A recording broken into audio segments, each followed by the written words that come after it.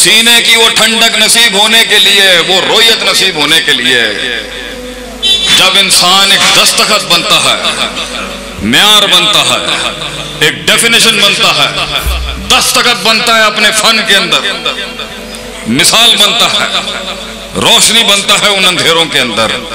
ये बड़ा मुश्किल सफ़र है, बड़ी काट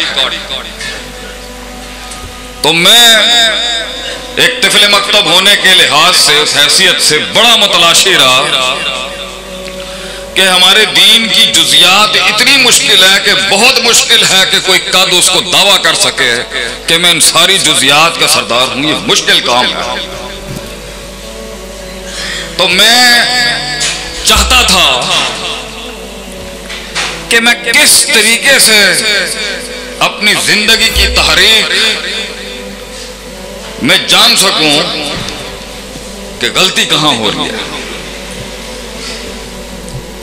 पानी रास्ता नहीं बना सका। क्यों नहीं बना सका? वो इनकलाब अगर नहीं आ सका, क्यों नहीं आ सका? दुश्मन दोस्त ना बन सके, क्यों ना बन सके? दोस्त सज्जन ना बन सके, क्यों ना बन सके? हम अगलों की सफों में वो जलजले नहीं ला सके, क्यों ना कर सके?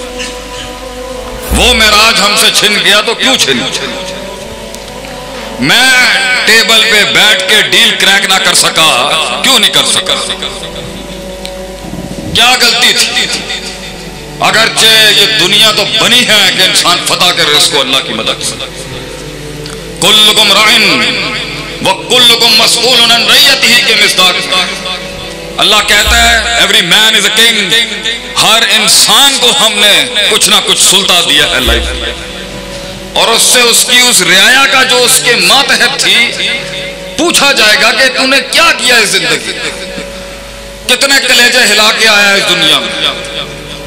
कितनी रूहों को मकसदियत का दर्ज दे किया है कितने समंदरों के रुख मोड़े हैं तूने अपने नज़रिए की तरफ़?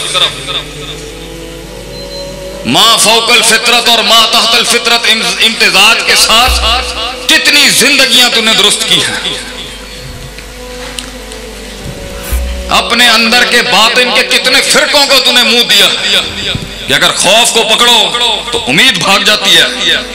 उम्मीद को पकड़ो तो खौफ दम तोड़ देता अल ईमान उबैन अल खौफ पर रिजा संभालते हुए खूब जान तोड़ देगा।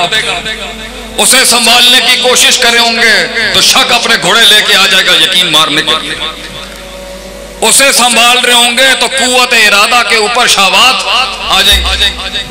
ये दोनों फसाद फिल इरादा फिल इस्तदलाल संभाल ही रहे होंगे।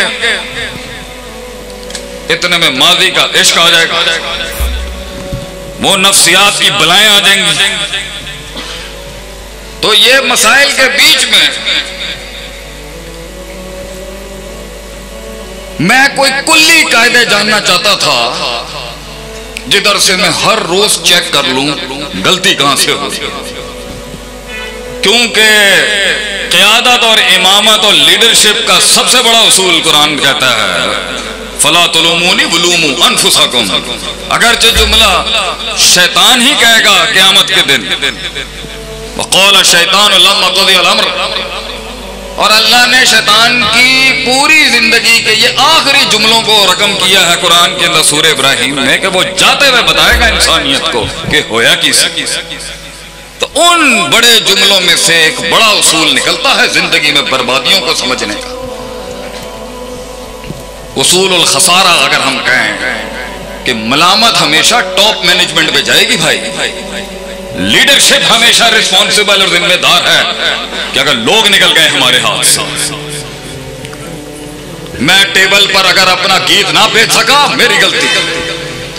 हम मजमे को कायल ना कर सके, मेरी गलती।